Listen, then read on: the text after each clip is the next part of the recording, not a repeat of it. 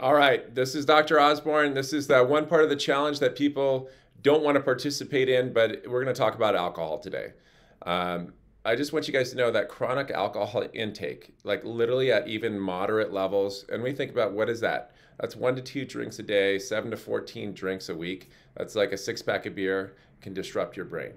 So when people drink, what they don't realize is that your prefrontal cortex, which is the thing that stops you from uh, having impulsive behavior, um, what it does is it, it decreases that ability and that's true in the short term while we're drinking but the problem is is that over time it rewires that circuitry um, when we're not even drinking there. And what they find is that chronic drinkers, people that drink even one to two nights a week, have had their brain actually rewired to have less impulse, to, to, they're more impulsive. And what it does is it damages that prefrontal cortex and it rewires all those circuits. And but what they find if you don't drink, it's reversible within the two to six months of actually saying no. Um, so for most social or casual drinkers, that's okay. But chronic users, they, they, they, they'll only partially recover, um, but they'll lock, probably have long lasting effects. So, what happens when people drink, it shuts down that prefrontal cortex. And those circuits in there also control your memory. Uh, and then there's this there's this fork in the road. You know, you have group one people who actually feel sedated after a few drinks, um, and then there's also the second group people who don't feel sedated after a few drinks. So why is this uh, um, why is this important? Because people that don't feel sedated, they have a predisposition to alcoholism.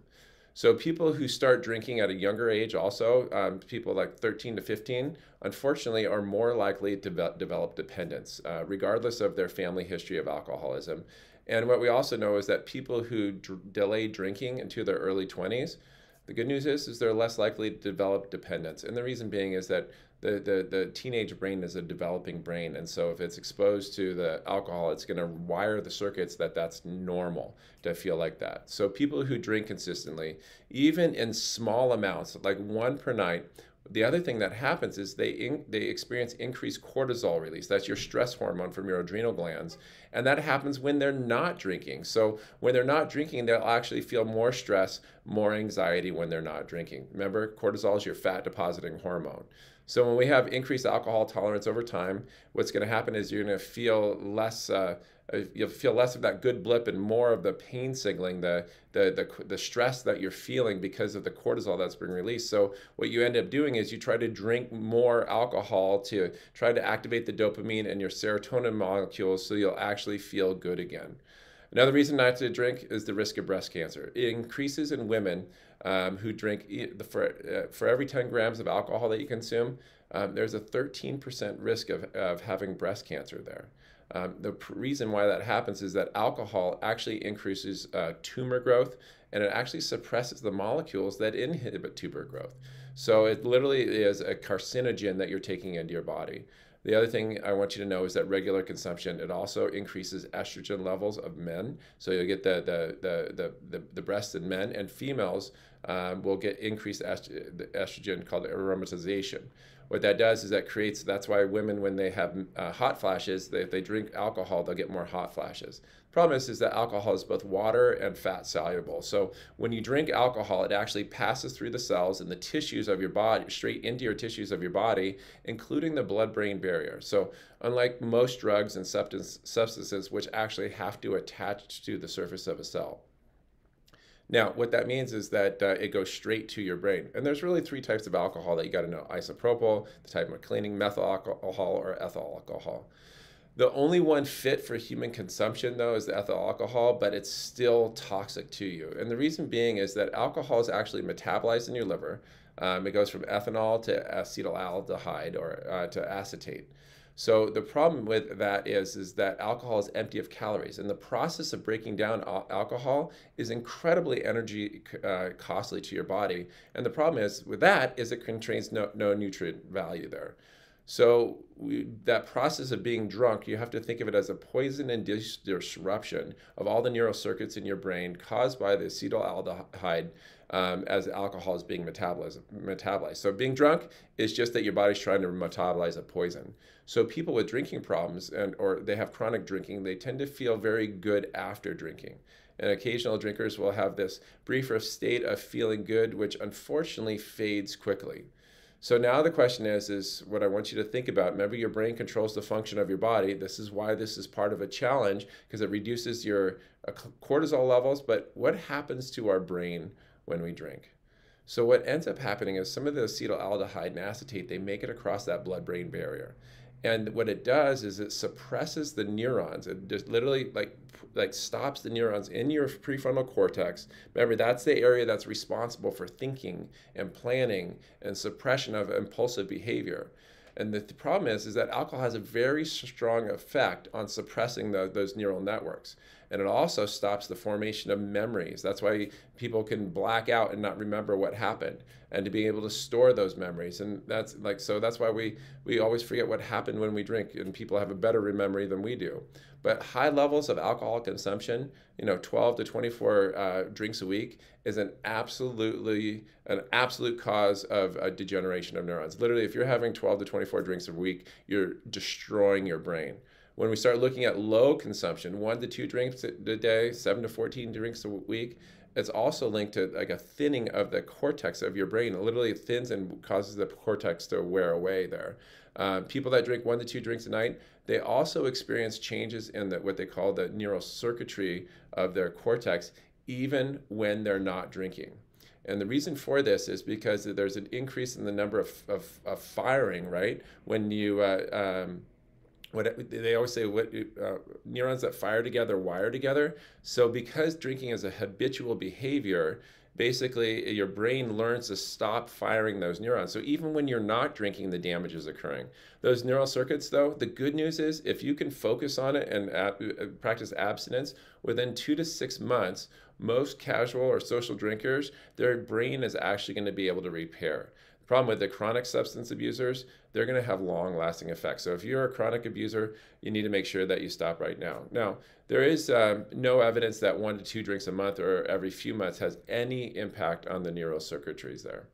So if that wasn't bad enough, so we're going to talk about uh, the effects of alcohol consumption on serotonin. Remember, serotonin is your happy hormone. When somebody takes an antidepressant, they'll, they take it to raise their serotonin levels. And serotonin is involved in so many circuits in your brain, but most importantly, it focuses on mood, it focuses on self image, and how we see ourselves. And so, what happens is alcohol, when it's converted to that acetaldehyde, it disrupts that mood circuitry and it makes that hyperactive. Um, and, and it would, what, what ends up happening becomes hyperactive and then it plummets. You get this energized mood and then it's suppressed and we start to lose our alertness and our arousal there. And if it, it so if you have increased alcohol and it makes you or um, it's someone around you feel better um, what you know the prop the, the person that that person right there is a future alcoholic. So if you don't feel bad about yourself when you're drinking or like the, having um, like paranoid about what people think about you you're going to have a strong predisposition to becoming an alcoholic. Now Let's talk about blackout drunk. Um, what that means is that the activity of the neurons in your hippocampus, hippocampus are shut off, so you just can't remember anything. So literally, you're so toxic that basically your brain stops working the alcohol will end up changing that relationship between your hypothalamus and your pituitary gland which and your adrenal gland which really maintains the balance of what you see as stressful. So it really rewires your whole stress response. And so what it'll do is that the level of stress or cortisol is going to be increased substantially in people who regularly drink. So you drink because you're stressed but you're stressed because you drink. Um, and so that's we need to break that cycle um, now let's talk about genetics and alcohol. So I think one of the things that our genes are modified by chronic chronic drinking, and they'll follow they'll, they'll follow along the pathway uh, that that actually controls those serotonin receptors, our GABA receptors for our mood, um, that that whole hypothalamic pituitary axis, which is how we de deal with stress. And you take that in conjunction with the uh, um, the the, the um, um you take that in conjunction with um, that stress response there, what you'll start to see is, is that your body will not be able to, uh, you'll start to become more, um, what's the word, sensitive to the outside world there. So I, I, one of the things that I want you to just to remember is is, is that we're going through this process. Just know that that there that when you're drinking, if your face gets really red, uh, chances uh, chances are that you actually have a, what's called very low alcohol dehydrogenase. Um, and you basically, what that means is you're going to get a toxic buildup of, to- of, of alcohol that your body can't metabolize. That's why a lot of Asian people can't drink because they get what's called the Asian flush. Their body just can't metabolize alcohol as well. But for alcoholism, there isn't a single gene. Uh, but if you have one or more of the relatives, one of your relatives that are chronic abusers, you're probably likely predisposed. predisposed. So if you have a genetic tendency there, like I said earlier, that people that start drinking at a younger age, somewhere in that 3 to 13 to 15, are more likely to develop dependence, regardless of any family history of alcoholism.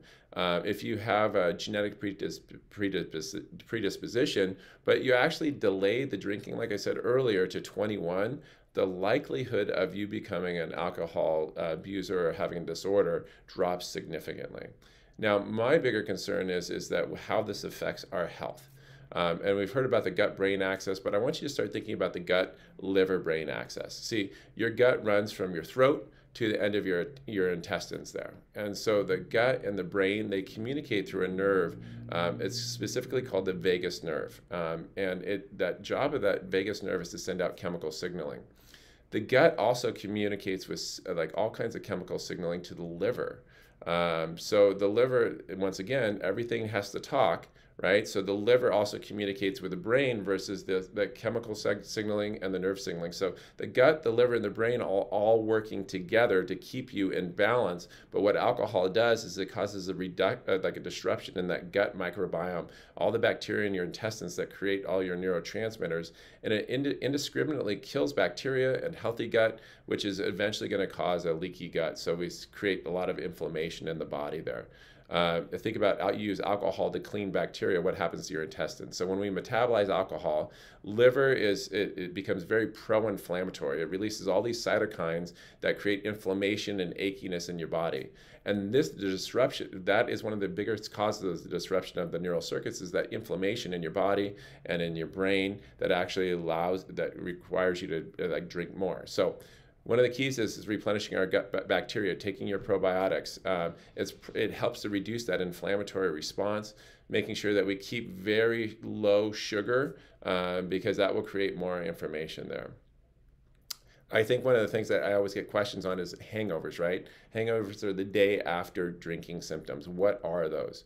So I think sleep after even one or more drink is, is not the same quality as without alcohol. Okay, sleep is when your body heals and repairs. And so when alcohol is present in your bloodstream, the architecture, the way that your sleep is cycle is, it becomes disrupted. You get those uh, disrupted uh, gut microbiomes.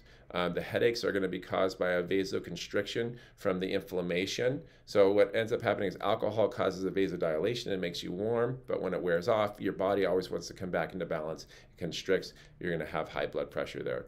Be incredibly careful about taking NSAIDs like ibuprofen, Tylenol after drinking because your liver is already taking a beating from the alcohol.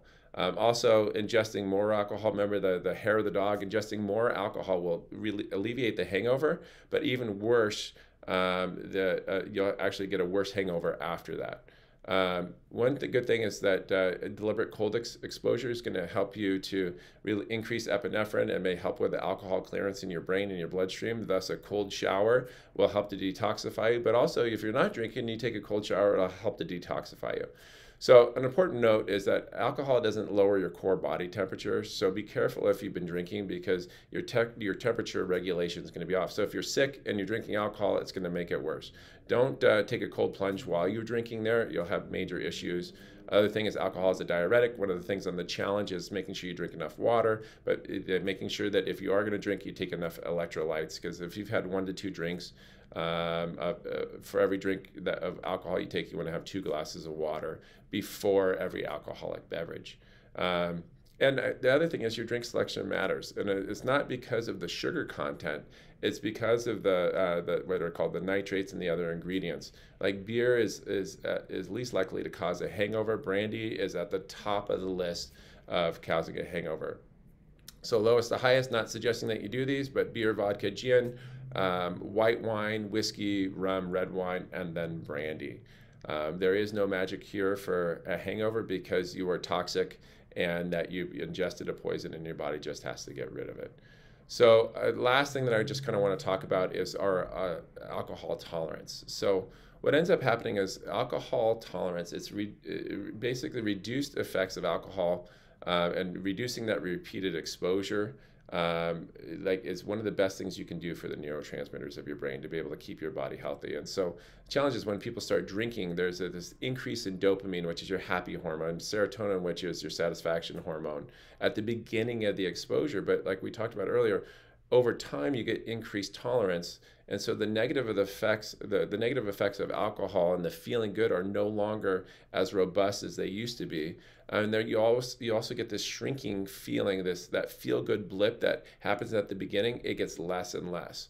And so that's why people drink more and more. So if you haven't figured out by now there's no really good reason to uh, drink alcohol except to make your body more stressed make it more toxic make it hurt more and more inflamed because alcohol moves within your bloodstream in just a few minutes. So if you eat something with carbohydrates, fats, or proteins prior to drinking or while drinking, it will slow the absorption of alcohol in the bloodstream.